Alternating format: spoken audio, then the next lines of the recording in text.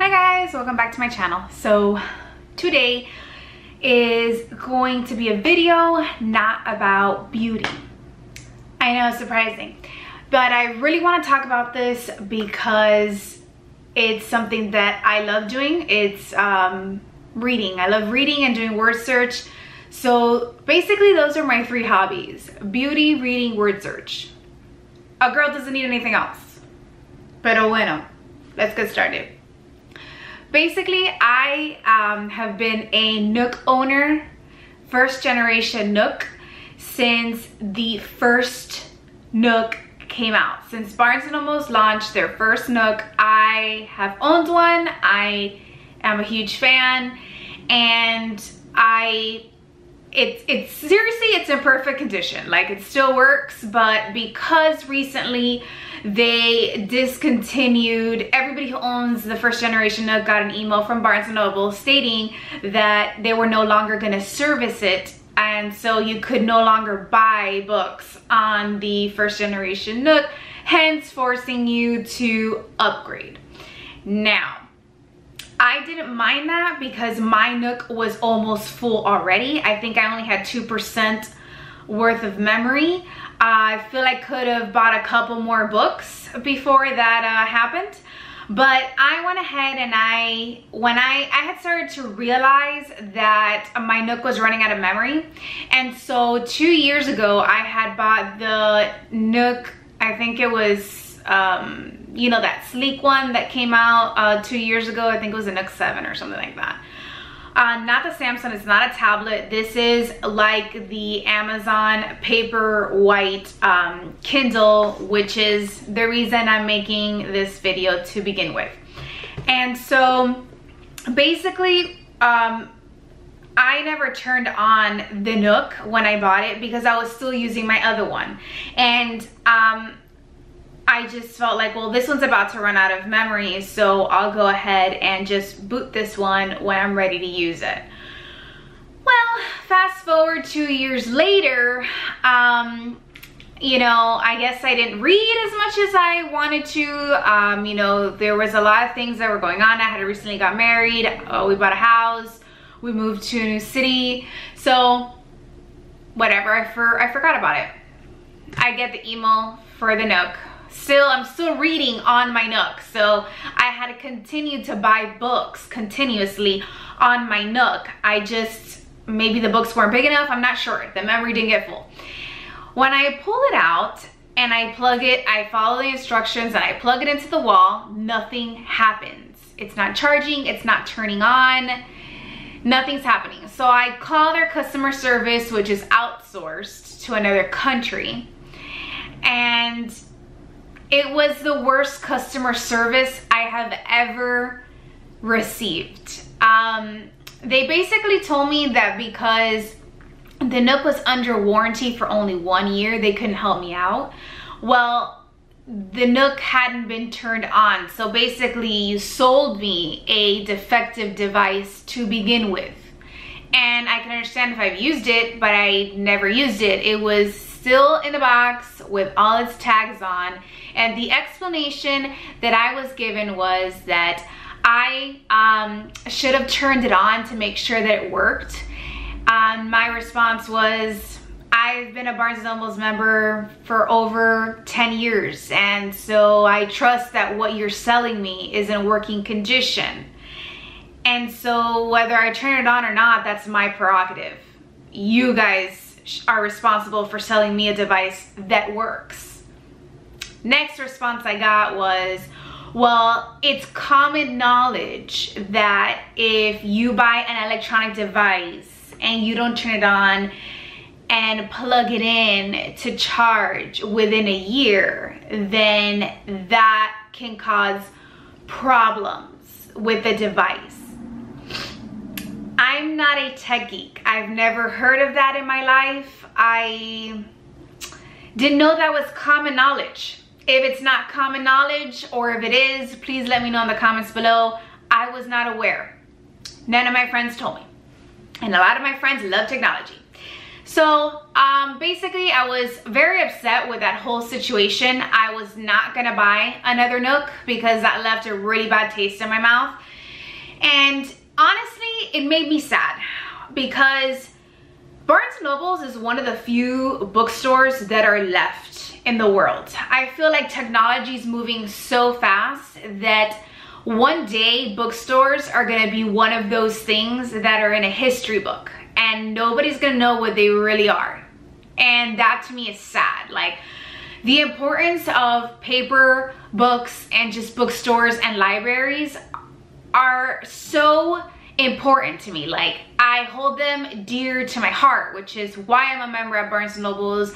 I go in there, although I don't buy books um, anymore. The reason why I don't, um, I'll buy some here and there, but I've had have had to refrain myself is because I ran out of space. I I ran out of physical space to have these books, and so that's why I had to the the Nook wasn't something that I bought. It was actually my mom bought it for me. She said, don't bring another book into this house. There's no more space. You've run out of space. Every square footage of your room has books. You you need you need to work on that. We need to find another solution for this. So figure it out.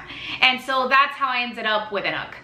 During this whole um, issue that I was having with Barnes & Nobles, um, I ended up, Amazon was having their prime sale. And so what I did was I um, started researching what other e-readers were as good as a Nook because I didn't want a tablet and I didn't want something that was gonna burn my eyes. I had LASIK surgery and so um, I've ever since then I've been a little bit sensitive to the light but I can read hours on end and that light whether you have LASIK or, LASIK or not people say that it just, it's very damaging to the eye and it makes your eyes tired. Um, you get tired a lot quicker. And I can't afford that if I'm reading a good book. Like I, I, I just, I gotta go, go, go. You know what I mean? all my heavy readers out there can relate right now. Especially if you're reading like a thriller or a mystery, you're never gonna put that down. Let's get serious. You're gonna be there like for four hours reading that. Um, and so that's why I ended up on the prime sale. I ended up going with the Kindle Paperwhite um, the white one uh, um, e-reader. And let's get started. So this is the box that it comes with. This is not an unboxing guys. I've already unboxed this and I've set it up because I've had P I now have PTSD from my Nook situation.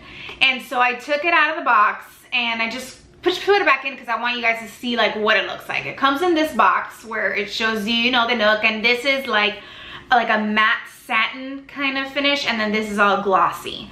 And so you just pull it out. If you have an Amazon account with them, they will automatically set this up with all of your information. When you boot it, boot it up, it's gonna have all your stuff in there. Your all you gotta set up is if you wanna use a different form of payment other than your Amazon Prime account, then that's the only thing that you would have to set up.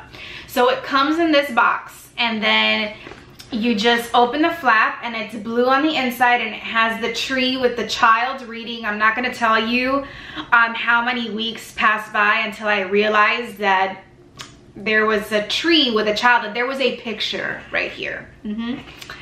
Anyway, and then on the inside, you have a black card that just gives you very simple instructions on what you need to know how to set up your Nook. I mean, you see? That's because I've had it for so long. Your Kindle. and the reason I went with the Kindle was because although it has a light, you can turn it off. Even though I've read that it's never completely off, but it looks off to me. Um, it looks like you're looking at an actual book page, which is what I needed in my life. And so inside, you get your Nook. You had two options during the Prime sale. Um, this retailed for like 149 or $139, but then during the sale, it was like $89.99, something like that, or $79.99 if you got it with the ads. if you wanted it without the ads, it was nine. It was ninety nine point ninety nine, so ninety nine dollars. Um, I was gonna go for the cheaper version, but my husband was like, "No, he's like, just pay the extra money so that you don't have the ads. And I was kind of like on the fence on that, but I just, whatever. Since Amazon has such like a good return policy, I'll whatever. If I don't, if I don't feel like it's worth the extra money, then I'll return it. And so once you take out the Nook, inside um, you have this little Amazon um, sleeve and this is where the um, cord came in. You only get the cord. You don't get the little block to charge it in.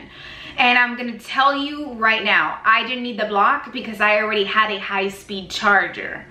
Um, just buy it because it's 20 bucks. I was a little bit upset that Amazon didn't include the cube. I really was. But you know, whatever. I already had one, so it didn't make a difference to me. But I feel your pain for those of you who didn't have it and you had to pay an extra $20 because now we're talking about spending $120 on a Kindle. Okay. Um, I already had one, so that didn't make a difference to me. Um, the reason I tell you just go ahead and buy it is because I did try to find it cheaper in other places, not necessarily buying the Amazon brand or buying another brand. They retail for the same price, guys. You're not really gonna save anything. They are either $20, $18. I couldn't find it any cheaper. um, and then that's it. You're done with the box. It's blue on the inside. And then when you open this up, it comes in a plastic sleeve. Now the packaging for the Kindle reminds me a lot of like Apple's packaging. Very simple, very sleek. I like it, I like it. And then you have your um, Kindle. And on the back, it says Amazon. I got mine in white because my Nook was white. I prefer white. And so this is what it looks like with the ads. This background changes every time you, your Nook, I mean, I really gotta stop doing that. Every time your Kindle goes to sleep, you get a new background. I don't know how many backgrounds there are, but I still haven't seen more, I haven't seen the same one twice. So I'm sure it's like more than 30. Um, and so when you press the button, your Kindle automatically automatically turns on to where you are reading um, your book. Now, what I like about this is that it looks like you're looking at a paper page. So I'm gonna cl get close so you guys can see what I'm talking about, okay? And then it's just very simple. So when, I'm sorry about the glare. So when you click on the top, you just get your whole menu okay? You click home and right now I'm reading um, Sharp Objects. That's the book that I'm reading right now. Um, the first book I bought was the uh, Last Black Unicorn. If you like like really good comedy books, that's for you. I know it's based on true story, but it was hilarious. I almost peed myself like six times reading that book. And so super quick backstory. I'm not the primary account holder for the Amazon Prime. It's my husband. And so when this Nook came, it came with all of his information. Um, it's really not a big deal, but it was a big deal to me um, because I just wanted everything to say my name on it, you know? And so basically, if you're the primary account holder, you have to send an invitation to whoever it is that you want to add onto the account and then you just set up your Kindle accordingly. And so basically the, the Kindle um, has a light, which is a little sun right here. And then you can just, see, it just goes as bright as you want it to go, which is why I haven't turned on the light in this room because I got, wanted you guys to see what that looked like, okay? And now that, Now that we're able to see that, I am gonna turn on the light. Give me one second. I'm back. All right.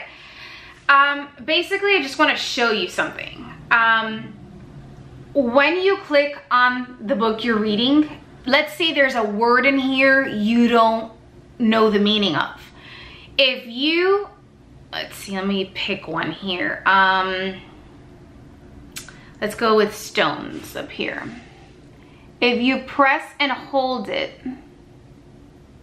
it's gonna give you the definition of the word, okay? Well, this is highlighted, but I'm not, I don't wanna highlight it. Hold on a second. Let me just, I'll, I'll choose Creek. Hold on one second.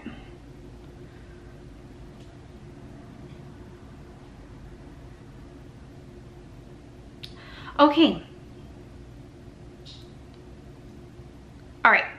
So you press and hold whatever word um, you don't understand and your Kindle will give you the definition on the bottom. And then you, um, it tells you what the definition is. It uses it in a sentence. Um, that has been very helpful for me. Uh, I My Nook did not do that. And so when you, um, you have the option of keeping that word saved in like a note card. Your Kindle will save it for you and then it'll like pop up randomly or whenever you want to look at it until you memorize that word and you know exactly what it means and then you can click mastered and just go to the next thing. You can highlight sentences. So if you are somebody who likes to take notes, you can highlight it and then you click the note tab right there and you can create a note as to what you want to remember. So this is very techy, um, very useful. And if you're not a like techie person like me, this is fairly simple to use. You just gotta get the hang of it. The touch technology on this is very, very good. My original Nook lagged a little bit, but it was good too. This is way faster, like 10 times faster. And when you wanna go to the next page, you can either click or swipe. That's completely up to you. You also get to choose your own font, like what size you want your font and it's right there. Like, so when you click on the corner of the Kindle, it's gonna give you your toolbar and this little um, button will show up. You click on that and you can choose the size of your font. Um, what else do we got here? The most of the covers for this, when you close it, it automatically puts your Kindle to sleep. I don't have one of those um, covers. I like to keep my Kindle in a sleeve and so what I use is um, a Vera Bradley leather um, sleeve that I got at the outlet. I think this cost me like $5. I know, what a steal. Um, basically you click on, you have your charging port down here and then you have your um, home uh, button down here. When you click on that, your Kindle goes to sleep with a brand new um, cover. And then I just slide it in, the sleeve, and I put it in my purse. I take this everywhere I go. Um, and the reason why it was worth the extra money um, to not get the ads is because the backgrounds are super nice and I would hate to see a bunch of ads like constantly like popping up or floating around and never being able to appreciate the actual background. So in my opinion, that's important. And yes, it was worth the extra $20 that um, I had to spend on the Kindle. It is very light. It is very thin. Um, I want to give you really quick the dimension, the dimensions. So it's 6.7 inches in height. And then it is um, 4.5 inches in length down here. And then width is 9.1 millimeters, okay? Super thin, amazing. If you had a first generation Nook and you had the same problem as me, this is a 10 times better alternative. I'm happy I went with it and I hope that this was informative to you and that you found this at least a little bit entertaining. And thank you for watching. If you haven't subscribed yet, go ahead and have a nice day, guys.